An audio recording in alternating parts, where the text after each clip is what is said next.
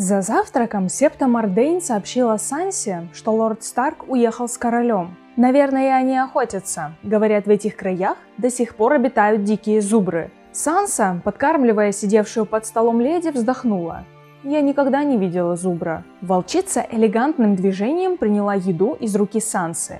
Септа Мордейн неодобрительно фыркнула. Благородная леди не кормит собак под столом. Санса заметила, что это не собака, а лютоволчица, и отец разрешил их держать. Но Септа не смягчилась. Она говорит, что Санса хорошая девочка, но когда речь заходит об этом звере, то становится упрямой, как Ария. Кстати, где она? Санса сказала, что Ария не голодна, но понимала, что сестра ее, скорее всего, давно пробралась в кухню и заставила поваренка накормить ее. Септа просит Сансу напомнить сестре, чтобы она сегодня оделась получше. Сегодня они поедут с королевой и принцессой Мерцеллой и должны выглядеть как положено. Санса уже выглядела прекрасно. Она до блеска расчесала волосы и выбрала лучшие голубые шелка. Этого дня она ждала неделю. Ехать с королевой – великая честь. К тому же там будет принц Джоффри, ее жених. Мысль эта вызвала в ее душе трепет хотя до брака оставались еще годы. Санса почти не знала Джоффри, но уже влюбилась в него. Именно таким она и видела своего принца. Высоким и сильным, золотоволосым красавцем. Она ценила каждую возможность провести с ним время. Пугала ее лишь Ария. Она всегда умела все испортить, и никогда нельзя было предсказать, что она выкинет. Санса неуверенно проговорила, что скажет Арии, но понимала, что та оденется, как всегда. Она нашла сестру у берега Трезубца. Ария вычесывала грязь из шерсти Немерии, пытаясь удержать ее на месте. Лютоволчице не нравилось это занятие. Ария была в той же одежде, что вчера и позавчера. Санса предупредила сестру, чтобы она надела что-нибудь покрасивее, ведь они будут ехать в повозке королевы. Но Ария заявила, что она с ними не поедет. Они с Микой идут искать рубины. Какие рубины? В недоумении спросила Санса. Ария посмотрела на сестру, удивляясь ее глупости. Рубины Рейгара. Это как раз то место, где король Роберт убил его и захватил корону. Санса посмотрела на младшую сестру и сказала, что она не может ехать за рубинами. Их ждет принцесса. Но Ария заявляет, что ей там не интересно. В повозке нет окон, оттуда ничего не увидишь. А что ты хочешь увидеть? Вокруг поля, фермы и крепости, возмутилась Санса. Такое чудесное приглашение, а глупая сестра все портит. Этого она и опасалась. Ария с ней не согласна. Если бы ты иногда ездила с нами, то увидела бы «ненавижу верховую езду», раздраженно ответила Санса. После нее чувствуешь себя грязной, пыльной и тело болит. Ария сказала, что пока они пересекали перешеек, она насчитала 36 видов цветов, которых никогда не видела, а Мика показал ей льва-ящера. Санса поежилась. Они 12 дней пересекали перешеек по дороге через болото, и каждое мгновение казалось ей ненавистным. Воздух был сырым и липким. Они не нашли места для лагеря и заночевали прямо на Королевском тракте. Густые чащобы, наполовину утонувших в воде деревьев, стискивали дорогу. С ветвей свисали наросты грибов. Огромные цветы плавали в лужах стоялой воды, и всякого, желавшего сорвать их, ожидали трясины. На деревьях были змеи, а львоящеры плавали, напоминая черные бревна с глазами и зубами. Но Арию ничто не могло остановить. Однажды она вернулась с улыбкой во все лицо, лохматая и грязная, но с букетом цветов для отца. Санса надеялась, что он велит Арии вести себя, как подобает леди, но отец не поругал ее, а обнял и поблагодарил за цветы. Это еще больше расстроило Сансу. А потом оказалось, что эти цветы называют жгучим цветом, и руки Арии сперва покраснели, а потом на них выступили волдыри. Санса надеялась, что это образумит сестру, но та лишь смеялась и вымазала руки грязью, словно селянка, потому что ее приятель Мика сказал, что так можно остановить зуд. А еще на плечах и руках Арии были синяки, но Санса не знала, где и как Ария заработала их. Ария вычесывала Немерию и рассказывала, что на прошлой неделе они нашли башню с призраками, а до того гоняли табун диких лошадей. Санса напоминает сестре, что отец запретил им оставлять отряд.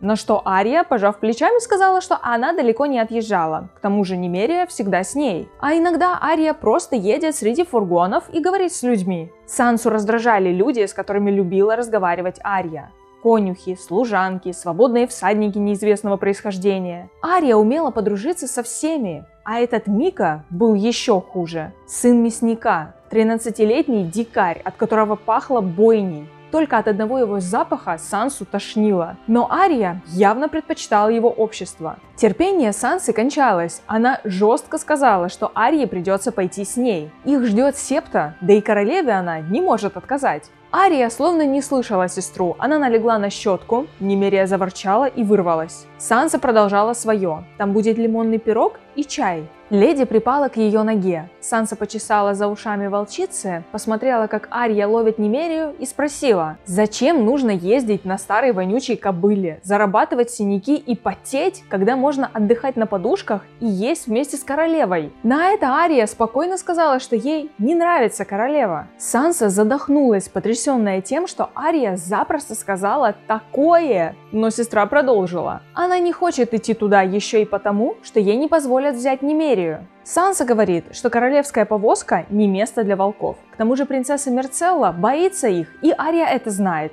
Ария, сказав, что Мерцелла еще совсем маленькая, поймала Немерию, но только достала щетку, волчица вновь вырвалась на свободу. Ария бросила щетку и крикнула «Ах ты сквернавка!» Санса не смогла сдержать улыбку. Их главный псарь говорил, что животные всегда похожи на хозяев. Санса обняла леди и хихикнула, когда та лизнула ее в щеку. Ария повернулась и, яростно поглядев на сестру, сказала, что ей безразличны слова Сансы. Она уезжает кататься верхом. На это Санса проговорила, что иногда Ария ведет себя как ребенок. Ну и ладно, тогда я отправлюсь одна. Так день пройдет приятнее. Мы с леди съедим все лимонные пироги и повеселимся без тебя. Она уже отвернулась, и Ария крикнула ей вслед, что леди тоже не позволят взять с собой. Санса не успела придумать ответ, как Ария и Немерия убежали. Униженная и одинокая, она шла в гостиницу долгим путем, чтобы отдалить встречу с Септой. К ее глазам подступали слезы. Она хотела лишь, чтобы все было хорошо и мирно, как бывает в песнях. Ну почему Ария не умеет быть ласковой и доброй, как Мерцелла? Она предпочла бы такую сестру. Санса не могла понять, почему они так не похожи. Их разделяли всего два года. Уж лучше бы Ария была незаконнорожденной, как Джон. Она даже внешне напоминала его, длинным лицом и темными волосами Старков. Ничего общего с их леди-матерью. Джона же родила женщина из простонародья, так шептали люди. Когда Санса была маленькой, она спросила у матери, не случилась ли какая-нибудь ошибка. Быть может, ее настоящую сестру утащили Грамкины? Но мать рассмеялась и ответила, что Ария точно законная дочь лорда Старка и сестра Сансы.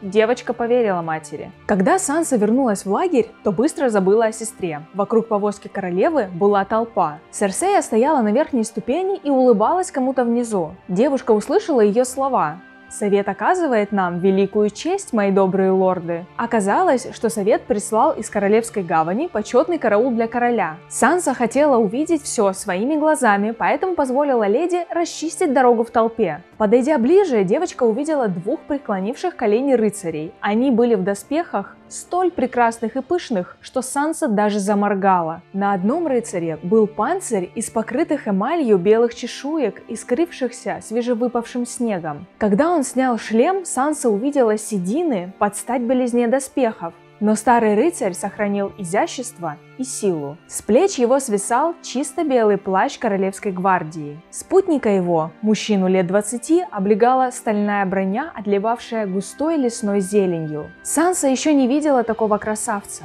Высокий, могучий, россыпь черных волос на плечах, на чисто выбритом лице смеющиеся глаза, зеленые, в тон доспехам. Под рукой он держал шлем, ветвистые рога горели золотом. Сначала Санса не заметила третьего незнакомца. Он не преклонял колени и, отступив в сторону, следил за происходящим. Лицо его избороздили рытвины, глаза прятались в ямах над впалыми щеками. Он не был стар, но на голове его, над самыми ушами, осталось лишь несколько клоков волос, длинных, как у женщины. Его простая железная кольчуга носила следы времени и частого употребления. Над правым плечом поднималась кожаная рукоять, закинутого за спину меча. Огромный двуручный клинок был слишком длинен, чтобы носить его сбоку. Санса не могла отвести от мужчины глаз. Он, казалось, ощутил ее взгляд и повернулся. Леди заворчала. Ужас, еще незнакомый Санси Старк, вдруг наполнил ее. Толкнув кого-то, она отступила назад, Сильные руки ухватили ее за плечи. На мгновение Санса решила, что это отец, но, обернувшись, увидела обгорелое лицо Сандера Клигана. Рот его кривила жуткая пародия на улыбку. Скрежещущим голосом он спросил, почему Санса дрожит. Неужели он так испугал ее? Это было правдой. Она боялась его с первой же встречи, с первого взгляда на разрушение, причиненное огнем его лицу. Хотя теперь казалось, что Клиган и наполовину не пугает ее так, как тот, другой. Но все же Санса отодвинулась от него. Пес расхохотался, и леди встала между ними, грозно ворча. Санса упала на колени, обхватила леди руками. Все собрались вокруг с открытыми ртами. Санса чувствовала, что на нее смотрят. Тут и там раздавались обидные комментарии и смешки. «Седьмое пекло! Это лютоволк! А что он делает в лагере?» Пес ответил, что у Старков они вместо нянек. Тут Санса поняла, что двое незнакомых рыцарей с мечами в руках глядят на нее и леди, и вновь ощутила испуг и стыд. Слезы наполнили ее глаза. Она услышала, как королева сказала Джоффри подойти к ней. Принц оказался рядом и приказал псу оставить ее в покое. Джоффри остановился над ней. Золотые локоны сверкали на солнце, словно корона. Он подал ей руку. «Что случилось, моя милая леди? А вы уберите мечи. Этот волк у нее вместо собаки». Он поглядел на Сандера Клегана. «Вот что, пес, убирайся, не надо пугать мою невесту». Пес невозмутимо поклонился и растворился в толпе. Санса постаралась твердо стоять на ногах. Она ощущала себя такой дурой. Она благородная леди из дома Старк, будущая королева. Она объясняет, что испугалась не пса, а другого человека. Незнакомые рыцари обменялись взглядами. Старик снисходительно сказал Сансе, что сир Иллин нередко пугает и его. Это жуткий человек. А королева добавила, что так и должно быть. Если дурные люди не боятся королевского правосудия, значит на должность назначили неподходящего человека. Санса наконец нашла нужные слова. Тогда вы бесспорно назначили нужного человека, светлейшая государыня, сказала она, и смех ветерком охватил всех вокруг. Хорошо сказано, дитя, заметил старик в белой броне, как и подобает дочери Эддарда Старка. Считаю за честь наше знакомство. Я Сир Баристан Селми из Королевской гвардии.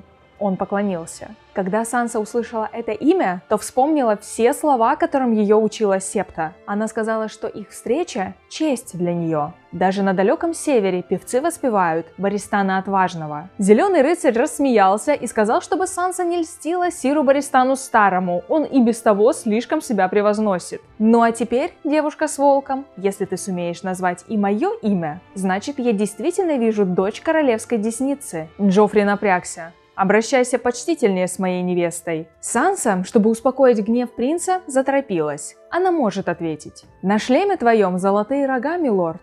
Олень – это герб королевского дома. У короля два брата. Судя по молодости, ты можешь быть только Ренли Баратеоном, лордом штормового предела и советником короля. Сир Баристан усмехнулся. Судя по его крайней молодости, он может зваться просто брыкучим ослом. Так именую его я. Все вокруг засмеялись, а первым сам Ренли. Напряженность исчезла. Санса начала успокаиваться, но тут сир Илин Пейн стал перед ней, без тени улыбки на лице. Он не проронил ни слова. Леди заворчала. Негромко, но грозно. «Прошу прощения, если я оскорбила вас, сир Илин». Ответа не последовало.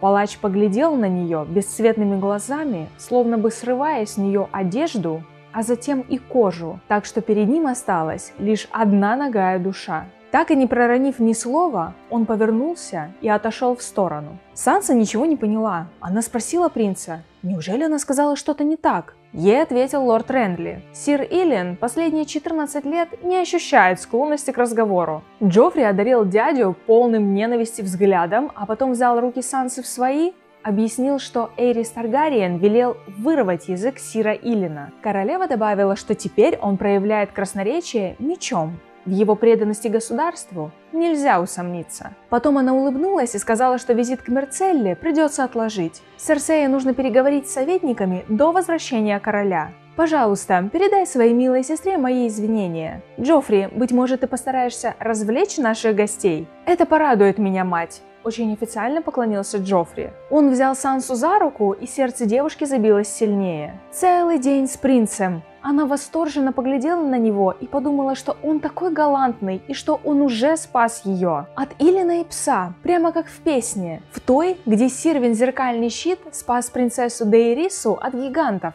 Принц спросил, чем бы ей хотелось заняться. «Быть с тобой», — подумала Санса, но не сказала этого, а спросила, чем хочет заняться ее принц. Джоффри предложил покататься верхом. «О, я обожаю верховую езду», — сказала она. Принц посмотрел на леди. Волк может испугать лошадей, а его пес пугает Сансу. Пусть оба они останутся здесь и не мешают нам. Как по-твоему? Санса помедлила.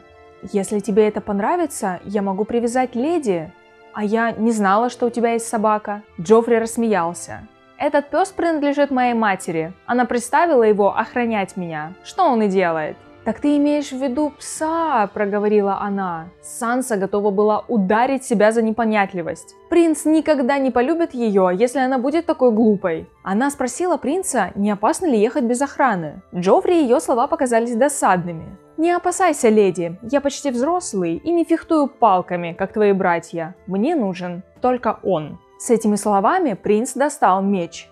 Я зову его Львиным Зубом. Так они направились по берегу Трезубца. День выдался великолепный, даже волшебный. Воздух благоухал цветами. Леса здесь были исполнены мягкой красы, которой Санса не видела на севере. Они обследовали пещеры на берегу реки и загнали сумеречного кота в его логово. А когда проголодались, Джоффри отыскал стоянку и велел мужчинам доставить еду и вино для их принца и его дамы. Они перекусили форелью, и Санса выпила вина больше, чем когда-нибудь прежде. Она пожаловалась, что отец позволяет им одну чашу и то лишь на Перу. На что Джоффри, подливая ей еще, сказал, что его невеста может пить сколько хочет. Поев, они отправились дальше. Джоффри пел голосом высоким, чистым и приятным. Голова Сансы чуть кружилась от выпитого вина. Она спросила, не повернуть ли им назад.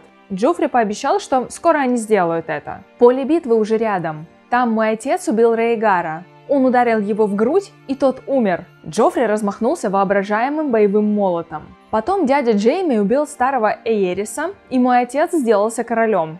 Правда здорово? А что это за звук? Санса тоже услышала его. Заволновавшись, она сказала, что им лучше повернуть назад. Но Джоффри хочет посмотреть, что там. Он повернул коня в сторону звука, и Сансе оставалось только последовать за ним. Шум становился громче и четче. Стучало дерево о дерево. Подъехав ближе, они услышали пыхтение и бормотание. «Там кто-то есть!» Тревожно проговорила Санса и пожалела, что оставила волчицу в лагере. Джоффри извлек из ножен львиный зуб и сказал, что с ним она в безопасности. На поляне возле реки они увидели мальчика и девочку, играющих в рыцарей. Мечи их были деревянными палками. Мальчик был старше, на голову выше и сильнее, и он побеждал. Девочка, неряха в грязном костюме, все же умудрялась отражать большинство ударов, хотя и не все. Когда она попыталась ударить его, он отбросил ее палку своей и стукнул по пальцам. Девочка вскрикнула и выронила оружие. Джоффри расхохотался. Мальчик оглянулся, вздрогнул и выронил палку. Девочка яростно посмотрела на них, и Санса ужаснулась. «Арья!» – не веря своим глазам, позвала она. «Убирайся!» – крикнула ей сестра сквозь гневные слезы на глазах. «Что вы делаете здесь?» Джоффри поглядел на Арию, Сансу, опять на Арию. «Это твоя сестра?» Санса, покраснев, кивнула. Принц посмотрел на мальчика, нескладного, с грубым веснущатым лицом и густыми красными волосами. «А ты кто такой?» «Мика, милорд», – пробормотал парнишка. Он узнал принца и опустил глаза. «Это сын мясника», — сказала Санса. «Мой друг, оставьте его в покое». «Сын мясника, который хочет стать рыцарем, так?» Джоффри нагнулся с коня с мечом в руке. «Возьми-ка свой меч, сын мясника», — велел принц, и глаза его посветлели от удовольствия. «Посмотрим, насколько ты хорош в бою». Мика стоял, замороженный страхом. Джоффри подошел к нему. «Ну, бери же! Или ты сражаешься только с маленькими девочками?» «Она сама просила меня, милорд», – проговорил Мика. «Сама просила». Санса понимала, что мальчик говорил правду, но Джоффри не был в настроении шутить. Вино ударило ему в голову. «Ты намереваешься взять свой меч?» Мика качнул головой. «Это не меч, милорд. Это лишь палка, а ты всего лишь сын мясника, а не рыцарь. Но дерешься с сестрой Миледи, или ты этого не знаешь?» Джоффри кольнул острием клинка щеку Мики. Яркая капля крови выступила под глазом мальчика, где меч прорезал кожу. «Остановись!» – завопила Ария и схватила палку. Санса испугалась. «Ария, немедленно прекрати! Я не стану причинять ему боли!» «Большой», – ответил Арии принц Джоффри, не отводя глаз от мальчика-мясника. Ария подходила к принцу. Санса соскочила с коня, но опоздала. Сестра уже ударила обеими руками. Деревянная палка переломилась, а затылок Джоффри. Перед глазами потрясенной Сансы все помутилось. Джоффри пошатнулся и оглянулся, выкрикивая угрозы. Мика бросился к деревьям. Ария вновь ударила Джоффри, но на этот раз он принял удар львиным зубом и выбил из ее рук переломанную палку. Затылок принца кровоточил, глаза полыхали огнем. Санса кричала. «Нет, прекратите! Остановитесь оба! Вы все испортили!» но никто не слушал. Ария схватила камень и бросила в голову Джоффри, но вместо этого попала в коня принца. Гнедой, поднявшись на дыбы, отправился галопом следом за Микой. «Прекрати! Не надо! Прекрати!» – визжала Санса. Джоффри замахнулся на Арию мечом, выкрикивая жуткие грязные слова. Испуганная девочка отскочила. Джоффри следовал за ней, гоня к лесу. Санса не знала, что делать. И тут мимо нее мелькнула серая молния. Немерия сомкнула челюсти на руке Джоффри. Меч выпал из его руки. Волчица сбила принца с ног. Он покатился по траве и закричал от боли. «Уберите ее! Уберите!» Голос Арии хлестнул ударом кнута. «Немерия!» Волчица выпустила Джоффри и подошла к Арии. Лежа в траве, Джоффри, застонав, взялся за поврежденную руку. На рубахе его выступила кровь. «Она не причинила тебе боли», большой», — сказала Ария и, подобрав львиный зуб, встала над принцем, держа меч обеими руками. Джоффри поглядел на нее с испугом и с присвистом вымолвил. «Не бей меня! Я скажу матери! Оставь его в покое!» – завопила Санса. Ария повернулась и со всей силы бросила меч. Он взмыл над водой, а потом, плеснув, исчез в ней. Джоффри застонал. Ария побежала к своей лошади. Когда они с Немерией удалились, Санса бросилась к принцу. Глаза его были закрыты от боли. Дыхание было отрывистым. Санса встала возле него на колени и сквозь рыдания сказала «Джоффри, что они наделали? Только погляди, что они наделали! Мой бедный принц, не бойся, я съезжу в крепость и привезу помощь!» Джоффри посмотрел на нее. В его глазах не было Ничего, кроме ненависти, смешанной со злобным пренебрежением. Тогда ступай и не прикасайся ко мне.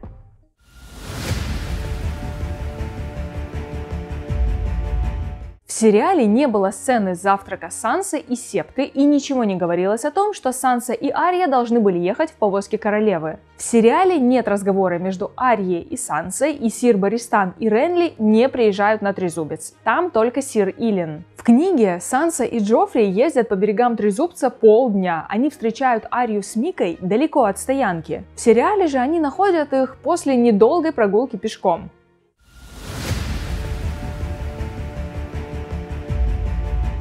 Септа говорит, что хотя Санса хорошая девочка, но когда речь заходит о ее лютоволке, она становится упрямой, как Ария. Как я понимаю, здесь автор показал, что у Сансы тоже есть характер, хотя сейчас он проявляется только в ее отношении к лютоволку. Этим же показана связь Сансы с Севером. Леди всегда рядом с ней. Санса находит Арию на берегу реки. Та вычесывает Немерию и на все аргументы сестры, что их пригласила королева, что их ждут обеих, Ария отмахивается. Ей это не интересно. Ей не нравится королева. В повозке нет окон, да еще и Немерию нельзя с собой взять. Зачем это Ария, когда ей так интересно с Микой? Они исследуют земли, через которые проезжают. Ария нашла кучу новых видов цветов, увидела льва-ящера. А сегодня так вообще они идут искать ни много ни мало, а рубины Рейгара. Санса говорит, что так себя ведут лишь дети, но Ария есть ребенок. Ей все интересно, она на все хочет посмотреть. То встречается башня с призраками, то дикие лошади, то цветы на болоте, которые нужно обязательно добыть для отца. А то, что Ария регулярно тренируется с Микой, показывает, что она выполняет заветы Джона. Он же сказал ей тренироваться при каждой возможности. Вот она и практикуется с завидным упорством. Мика выше ее и сильнее. Санса видит, что Ария вся в синяках, значит приходится ей непросто. Но она не сдается. А еще Арии нравится общаться с людьми. Она быстро заводит дружбу со всеми, и ей безразлично их происхождение. Она считает Мику, сына мясника, другом, а потому защищает его как может. Не помогли слова, она кинется на противника с палкой. Не стало палки, бросит камень. Все для того, чтобы Мика успел убежать. Санса же никогда не была такой, у нее все чинно, благородно, а теперь она вообще невеста принца. Поэтому она и не понимает сестру, не понимает, зачем она общается с непонятными безродными людьми, зачем она ездит на лошади, когда можно ехать в повозке, сидя на подушках. Сейчас единственное, наверное, что объединяет сестер, это любовь к лютоволкам. Санса старается вести себя как леди. Она правильно одевается, говорит правильные слова, ведет себя так, чтобы окружающим это нравилось. Она хочет, чтобы все всегда было тихо и мирно, как в песнях о прекрасных рыцарях и их дамах. И, наверное, она думает, что настоящие леди должны всегда нравиться людям, а потому Санса старается всем угождать, даже Септе. Санса могла сказать, что говорить с Арьей бессмысленно, но она обещает, что поговорит и поговорила. С Джоффри было так же. Он предлагает верховую езду, и Санса говорит, что очень ее любит, хотя это не так. Но она боится, что принц плохо о ней подумает, разочаруется, а потому соглашается на все. Том числе и оставить леди в лагере. Санса не хочет расставаться с волчицей, но раз Джоффри это предлагает, значит надо соглашаться. И, конечно, из этой главы становится понятно, что Джоффри псих, который получает удовольствие от того, что делает людям больно. Что вы думаете об этой главе? Пишите в комментариях, обязательно обсудим. И не забывайте, мы то, что мы читаем. До скорого! Пока!